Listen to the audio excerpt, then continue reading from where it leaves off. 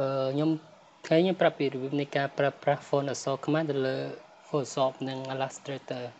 ដំបូងដោយអក្សរខ្មែរវាយពេលខ្លះវាអត់ support ជាមួយនឹង Photoshop ឬក៏ Illustrator ទេ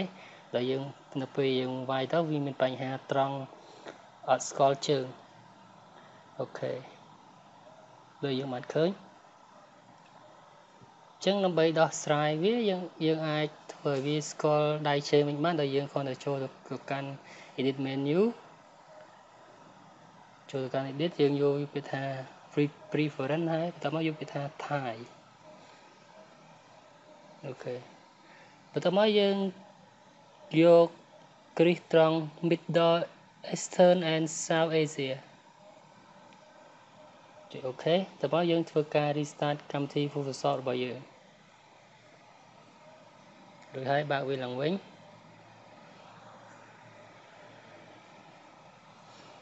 ឥឡូវនេះយើងសាកល្បងអឺវាអក្សរខ្មែរម្ដងទៀតឥឡូវខ្ញុំជឿ font ខ្មែរទៅមកខ្ញុំធ្វើការវាសាកល្បងតេស្តថាវាស្គាល់ឬក៏វាស្គាល់ជើងហើយប៉ុន្តែនៅមានបញ្ហាមួយចំនួនទៀតដែលយើងបានឃើញ ស្រៈ A គឺអត់នៅត្រូវកន្លែងដូចវានៅក្រៅអក្សរបវិញតែពេលវានៅត្រូវក្រៅអក្សរតួដើម្បីដោះស្រាយវាយើងងាយស្រួលទេដែលយើងគ្រាន់តែយើងចូលទៅកាន់ Windows menu ទៅមកយើងរកពាក្យថា character ត្រង់ចំណុចនេះយើង select លើអក្សរទៅមកយើងចុចកន្លែង standard ligature វានឹងបង្ហាញធម្មតាឡើងវិញឥឡូវនេះយើងអាច តេស្តសាកល្បងដូរ font ផ្សេងទៀតថាវាស្គាល់ឬក៏អត់ឥឡូវខ្ញុំអាចទៅសេពាក្យថ្មី ប្រទេសខ្មែរអញ្ចឹងទៅខ្ញុំអាច select ដើម្បីដូរ font ផ្សេងជឿថា font ផ្សេងវាអាច support អត់វាអាច support font បានច្រើននៃ font ខ្មែរយើងអាចដូចយើងបានឃើញ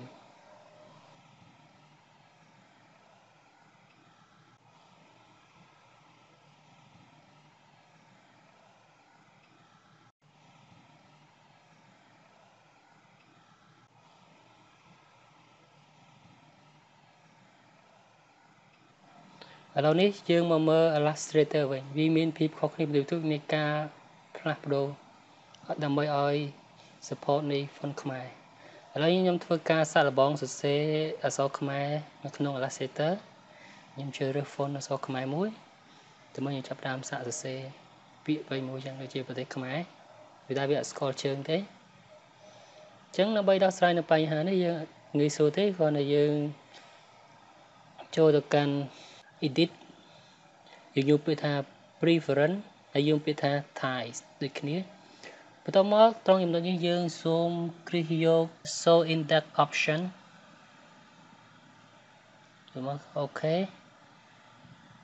ហើយ select លើ font អក្សរខ្មែររបស់យើងបន្តមកទៀតយើងចូលទៅកាន់ window ហើយយើងស្វែងរកពាក្យថា Thai វានៅខាងក្រោមអូខេតើមកយើងយកពាក្យថា paragraph ក្នុងចំណុច paragraph panel នេះយើងចុចខាងចំហៀងខាងស្នាមគឺយើងយកថា Middle Eastern and South Asia ឥឡូវវាស្គាល់ជើងហើយប៉ុន្តែវានៅមានបញ្ហាមួយចំនួនទៀតអូខេអញ្ចឹងដើម្បីដោះស្រាយនៅបញ្ហានេះ យើងខលចូលទៅខាង Windows ដដែលតមកយើងយកពាក្យថា Thai Open Thai ម្ដងត្រង់ចំណុចនេះយើងចុចទៅលើ Standard Ligature ដូចគ្នាតមកវានឹងស្គាល់អក្សរយើងធម្មតាអញ្ចឹងខ្ញុំអាចសាកល្បងដូរ font ផ្សេងដើម្បីថាតើអាច support font បានច្រើនឬក៏អត់អូខេ អរគុណនៃការតាមដានទស្សនានៅមេរៀនមួយនេះជួបគ្នានៅពេលក្រោយ